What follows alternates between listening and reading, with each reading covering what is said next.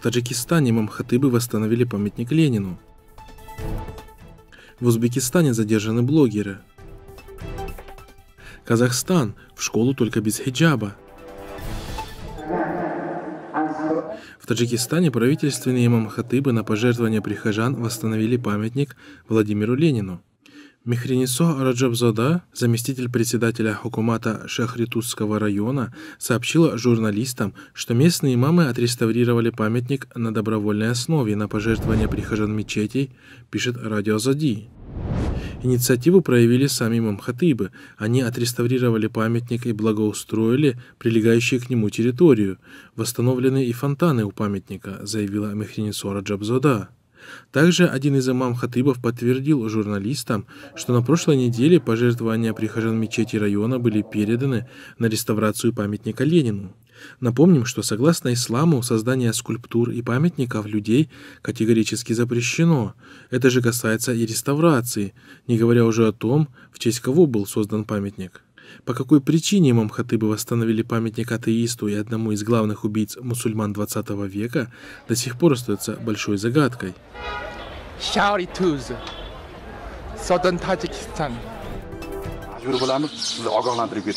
В последнюю неделю августа в Узбекистане в нескольких городах прошли аресты популярных блогеров. По данным узбекских властей, ташкентские блогеры Адхам Алимов, Мусанниф Адхам и Зиюдулло Кабиров, Зиювуддин Рахим признаны виновными в неподчинении законным требованиям сотрудников милиции и оказании им сопротивления. Адхаму Алимову назначено административное наказание в виде ареста на 15 суток, а Зиедулле Кабирову 10 суток ареста и штраф в размере одной минимальной заработной платы, то есть 184 300 сумов. Кроме того, стало известно об аресте на 15 суток еще двух блогеров – Атабека Усманова из Андижана и Хуршидбека Мухаммада Розикова из Коканда. Судьба еще одного ташкентского блогера Миразиза Ахмедова остается неизвестной. В свою очередь, родственники задержанных сообщили журналистам, что правоохранители серьезно предупреждали и запугивали их. По словам родственников блогера Адхама Алимова, 28 августа 8 сотрудников органов внутренних дел забрали его из дома, расположенного по улице Сагбан в Алмазарском районе города Ташкента. Также родственники Алимова сказали, что он вообще не оказал сопротивления при задержании. Кроме того, родной брат Адхама Алимова, Шахрух, журналистам сказал, что несмотря на то, что после задержания Адхама прошло трое суток, им до сих пор ничего не известно о месте его нахождения. Не знаем мы и о причине, по которой его арестовали. У нас у самих тоже нет никаких предположений, сказал он. O'zbekiston Respublikasi prezidenti zimmasiga yuklatilgan vazifalarni vijdonan bajarishga tantanali Напомним, что с приходом к власти в стране Мерзияева и последовавшего за этим некоторого смягчения внутренней политики в отношении ислама, на интернет-площадках появились исламские блогеры.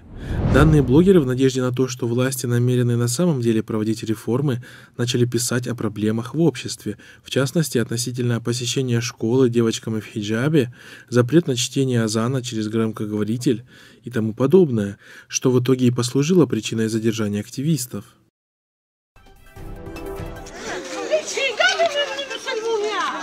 Селе Фердоуси, Туркестанской области Казахстана, несколько десятков учащихся девочек в платках вот уже который день не допускаются к учебе. Они отказываются выполнять требования администрации школы снять платки. Утром в среду ученицы в платках, которых третий день подряд не пускают в школу, и их родители собрались у здания учебного заведения, выражая возмущение действиями администрации школы. Родители не против того, чтобы ученицы начальных классов сняли платки, однако не хотят, чтобы старшеклассницы ходили в школу без хиджабов. Администрация школы и учителя к родителям не вышли. Администрация школы объясняет отказ впустить учениц в платках на урок, изданным в 2016 году приказом Министерства образования и науки номер 26, в котором прописаны требования к школьной форме и говорится о запрете на религиозную атрибутику в школах.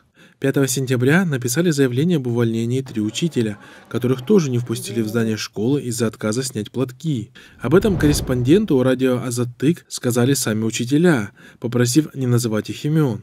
Учителя говорят, что ранее они ходили на работу в платках и не встречали каких-либо преград. По словам директора, всего в школе обучаются 372 девочки, 203 в старших классах, 169 в начальных. Сейчас почти все ученицы начальных классов и около 80 старшеклассниц сняли платки нұрсұлтан назарбаев әбішевке рахмет біз үшін мындай медресе мындай мешіттер ашып бермесе еді бірақ мусульмандарға унижение болып отыр ғой Стоит отметить, что соблюдающие мусульмане постоянно сталкиваются с проблемой посещения школ их детьми. В прошлом году только в Казахстане были привлечены к административной ответственности их штрафом десятки мусульман за посещение их детьми школы в платках. Также в других регионах Центральной Азии существует запрет на ношение хиджаба, и не только в общеобразовательных учреждениях, но и в таких общественных местах, как рынки, медучреждения, здания госучреждений и тому подобное. Я платок снимать не намерена, потому что это как бы не игрушка.